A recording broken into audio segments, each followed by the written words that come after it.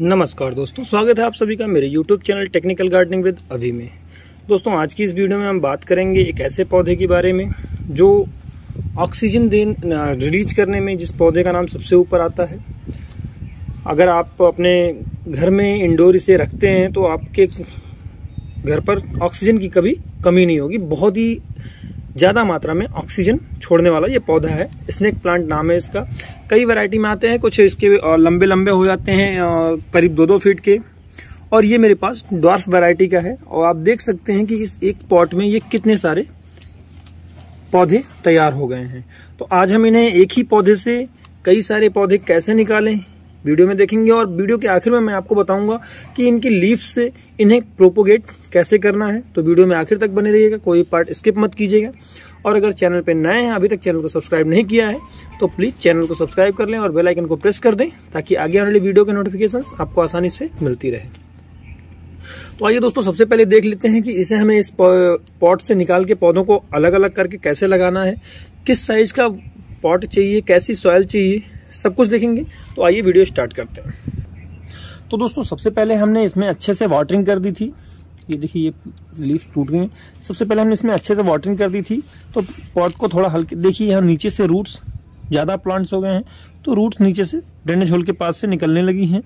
तो हमें अब इसमें से इसे निकाल लेना है। तो हल्के हल्के हाथों से इसे ज़रा दबाएँगे पॉट को। और जितने भी पौधे हैं, सभी को हम निकाल लेंगे। इससे बाहर, ये देखिए, बड़ी आसानी से बाहर आ गया। अब इन आप इनकी रूट्स को देख सकते हैं, कितनी अच्छे से इसमें जाल बना हुआ है। तो हम, चूँकि पानी हमने डाल रखा है, मिट्टी काफ़ी गीली है तो हम हल्के हाथों से धीरे धीरे इसे निकाल कर सभी पौधों को अलग कर लेंगे। आप देख सकते हैं कितने नए पौधे इसमें तैयार हो चुके हैं। तो मैं इन्हें, इनके रूट बॉल को ज़रा डिस्टर्ब करूँगा।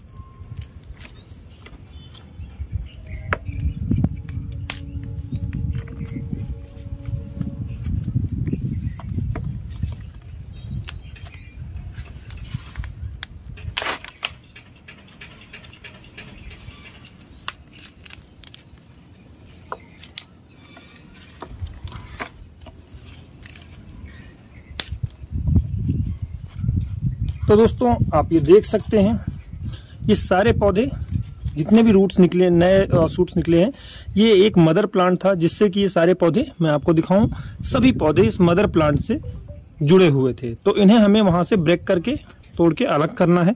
दिखाऊँ मैं आपको सभी पौधों में ये सभी पौधे अपने मदर प्लांट से जुड़े हुए थे। तो सबको हमने उससे तोड़ते हुए, ये देखिए इसके अलावा मैं दिखाऊँ आपको तो देखिए सभी पौधों को हमने अपने मदर प्लांट से अलग कर लिया है। और आप देख सकते हैं इस एक छोटे से गमले में कितने पौधे हमें नए नए मिले हैं।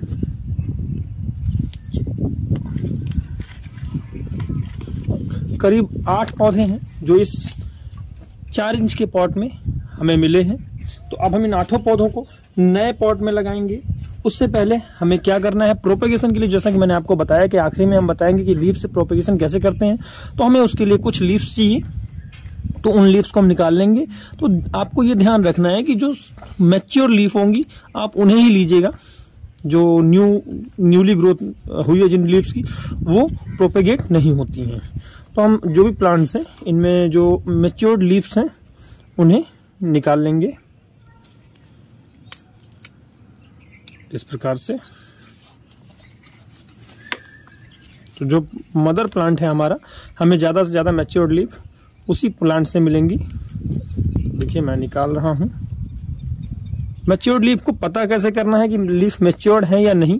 तो आप देखेंगे कि जो मेच्योर्ड लीफ होंगी, वो उनके जो कलर है, वो जो न्यूली ग्रोथ लीफ है, उससे अलग होगी। तो हमने कुछ मेच्योर्ड लीफ निकाल लिए हैं। अब हम इन्हें करेंगे रिपोर्ट अपने नए गमलों में। तो रिपोर्ट कैसे करना है और उससे पहले मैं बताऊँ, मिट्टी कैसे तैयार करनी है? तो देखिए, मैंने मिट्टी तैयार करके रखी हुई है। इनके लिए आपको मिट्टी जो बनानी है क्योंकि इन्हें इंडोर में हमें रखना होता है, हम इन्हें सेडेड एरिया में रखते हैं, धूप में नहीं डायरेक्ट रखते हैं। आप रखना चाहें तो रख भी सकते हैं। ये पौधे कहीं भी सर्वाइव कर जाते हैं, पर इंडोर काफ़ी ज़्यादा अच्छे होते हैं, ये पौधे। तो तो दोस्तों, जो मिट्टी हमें इसकी तैयार करनी है, उस मिट्टी में हमने मिलाया हुआ है 50 परसेंट गार्डन सॉयल 20 परसेंट इसमें हमने मिलाई है सैंड और 10 परसेंट हमने इसमें मिलाई है राइस हस्क जो कि मिट्टी को काफ़ी ज़्यादा पोरस करती है और उसके कार्बन वाले जो न्यूट्रिशंस हैं, वो इन पौधों के लिए काफ़ी ज़्यादा कारगर होते हैं। उसके साथ हमने मिलाई है ट्वेंटी परसेंट वर्मी कंपोस्ट तो ये तीन चीज़ों को मिलाया और एडिशनल हमने दिया है इसमें फंगीसाइड पाउडर और एक मुट्ठी करीब रॉक फॉस्फेट जो कि कैल्शियम की कमी को पूरी करेगा। तो इतनी सारी चीज़ें मिला के, और रेत हमने मिलाई दोस्तों, क्योंकि इंडोर रखना है हमें, और मिट्टी को जो एक दूसरे के साथ मिट्टी जो है हार्ड नहीं होनी चाहिए, इसलिए हमने रेत मिलाई है, और रेत के साथ हमने आपको बताया राइसस थोड़ी सी मिला ली है। तो राइसस के कुछ अपने ही फ़ायदे होते हैं। राइसस के क्या क्या प्रॉपर्टीज़ हैं, कैसे यूज़ करना है, अगर आप देखना चाहते हैं तो उसकी वीडियो अपलोड है चैनल पे, आप उसे चैनल पे जाके देख सकते हैं। तो इस प्रकार से देखिए, हमने जगह बना ली है और एक एक पौधे को एक एक पॉट में हम शिफ्ट कर देंगे। दोस्तों, मैं बताऊँ आपको कि स्नेक प्लांट जो है, अगर आप अपने घर में रखना चाहते हैं तो आप पर्सन के हिसाब से एक से दो पौधे, जितने पर्सन हैं, उतने पौधे अपने रूम में रखिए। आपको जो है ऑक्सीजन की कमी कभी महसूस नहीं होगी। तो अगर आपने नहीं लगाया है तो इस पौधे को ज़रूर लगाएँ।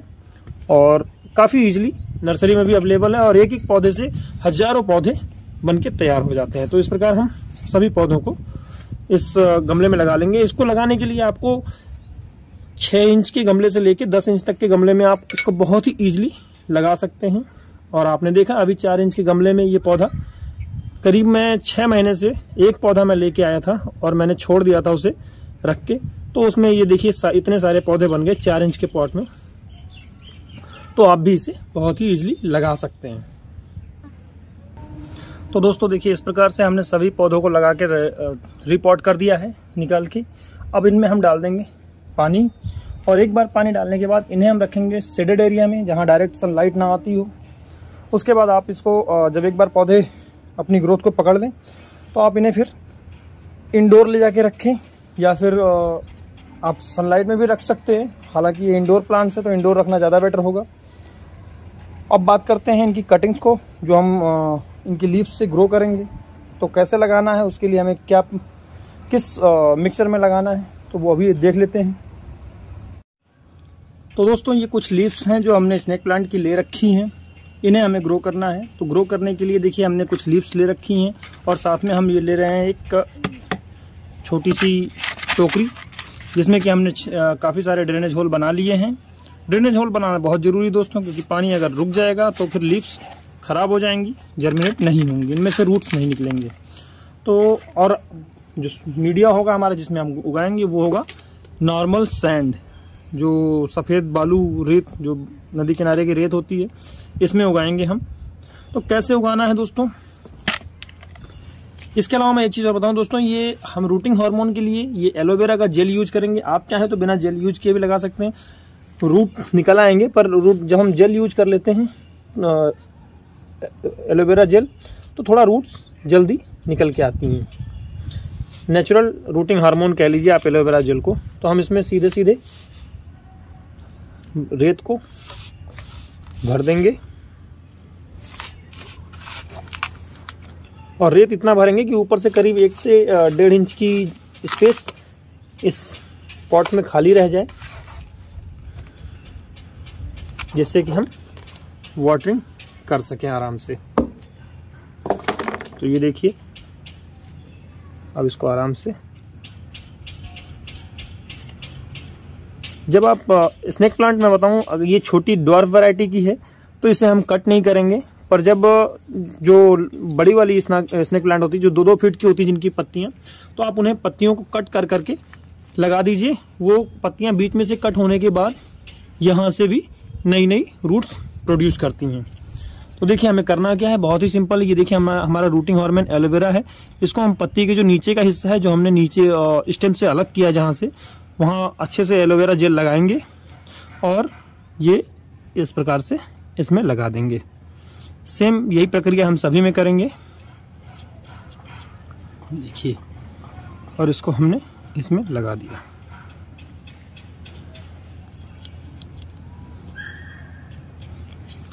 अगर आप रूट ये एलोवेरा जेल नहीं भी लगाते हैं, तब भी इनमें से रूट्स तो निकल ही जाएँगी। बस थोड़ा टाइम ज़्यादा लग सकता है।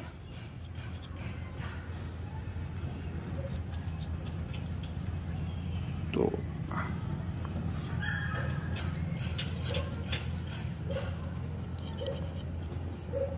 इस प्रकार से देखिए हमने सभी को लगा दिया है। और अब हम इन्हें रख देंगे ऐसी जगह पे जहाँ दिन की, सुबह की, आधे से एक घंटे की धूप आती हो। पहले इसमें हम कर देंगे अच्छे से वाटरिंग और उसके बाद इसे रख देंगे ऐसी जगह पे जहाँ दिन की आधे से एक घंटे की धूप, वो भी छनती हुई धूप मिले डायरेक्ट सनलाइट नहीं। और फिर जब इसमें एक बार रूट्स निकल जाएँगे तो इस पौधे को, इस, इनको हम निकाल के ट्रांसप्लांट कर लेंगे। तो देखिए दोस्तों, इस प्रकार से हमने इसमें वाटरिंग कर देना है।